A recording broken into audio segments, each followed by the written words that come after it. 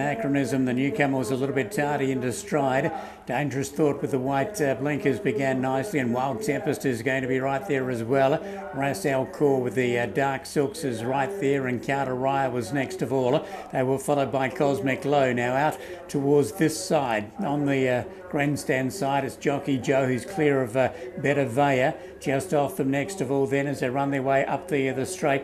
Uh, they were followed then by a number who's drifted back a little bit. Between horses, Perseus is over towards the inside, Anachronism's a long way back, and uh, off is MacDarm. So they come down foot of the hill now, 400 metres to go, and Carter Raya is the front runner just being pushed along. Dangerous Thought, Wild Tempest over on the inside needs to pick up. Out wider here, Better is right up there with them. Jockey Joe isn't too far away, and they were followed by Too Brave. They go to the final furlong marker here, and Carter is nice nicely clear. Out by a length and a quarter. Over Wild Tempest trying to pick up on the inside. Better Veyer out wider on the track. Dangerous Thought with the white blinkers. But Carter is going to come right away for a very good win. Carter drifting to the outside fence. Wins it from Better Veyer. They were followed by Dangerous Thought. Then Wild Tempest as they've gone across the line. Next to come in was Cosmic Glow and the rest are headed in by Jockey Joe.